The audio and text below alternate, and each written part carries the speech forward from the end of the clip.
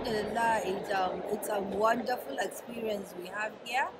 And the purpose the, and the aim is to achieve what you actually come for. And, and Alhamdulillah, the first day we are here, and by the second day, we've achieved our aim. We've already gotten distributors, so many people that have interest in our products.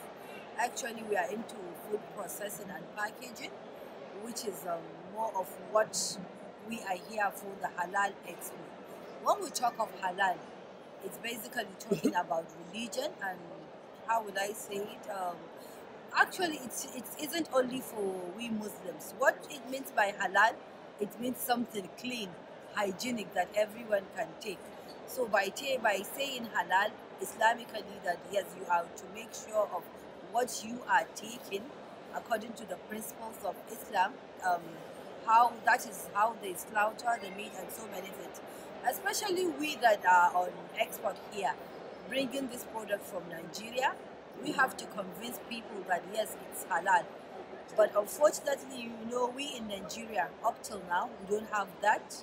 Well, as, as I know, so many agencies between export promotion and private people are organizing to see how they can bring this agency of halal to Nigeria. So most of the people that you will see halal on their products must be partnering with either Pakistan, Malaysia, and other countries. But basically in Nigeria we don't have.